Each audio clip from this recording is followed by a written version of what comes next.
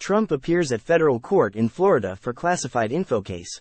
Republican presidential candidate former President Donald Trump speaks upon arriving at a Get Out the Vote rally at Coastal Carolina University in Conway, SC. Fort Pierce, Florida.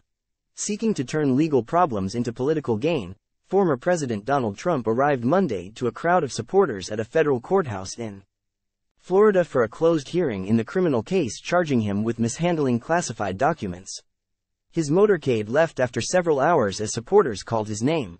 In the latest mixing of court appearances into Trump's election season calendar, supporters with signs and flags assembled outside a courthouse barricade as a Trump campaign message to allies with the subject line of, I'm in.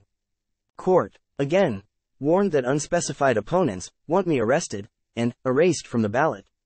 The message reinforced his team's strategy of politicizing his four criminal prosecutions, including in Florida, where he faces dozens of felony counts accusing him of hoarding highly classified records at his Mar-a-Lago estate and obstructing FBI efforts to get them back.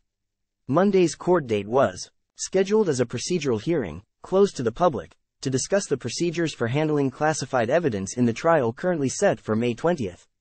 U.S. District Judge Aileen Cannon said arguments in the morning from defense lawyers and in the afternoon from prosecutors, each outside of the other's presence defense counsel shall be prepared to discuss their defense theories of the case in detail, and how any classified information might be relevant or helpful to the defense, Cannon wrote in scheduling the hearing. The closed hearing comes as prosecutors have also revealed that a prospective government witness has received threats over social media that are now the subject of federal investigation. Trump's motorcade arrived at the courthouse in Fort Pierce shortly after 9 a.m. Supporters outside held signs with messages including Trump 2024 and Florida is Trump country. He left the building in his motorcade after 2 p.m. while supporters shouted his name. The hearing is one of several voluntary court dates that Trump has attended in recent weeks. He was present, for instance, at appeals court arguments last month in Washington, as he looks to demonstrate to supporters that he intends to fight his criminal prosecutions while also seeking to reclaim the White House this November.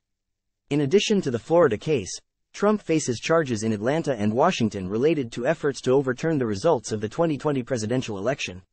He's also charged in state court in New York in connection with hush money payments made to porn actor Stormy Daniels. He has denied any wrongdoing.